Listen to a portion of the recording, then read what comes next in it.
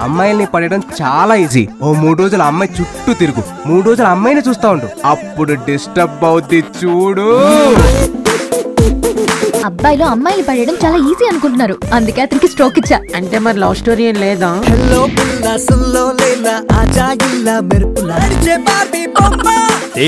I love you ఈ రోజు మధ్యాహ్నం మూడు గంటలకు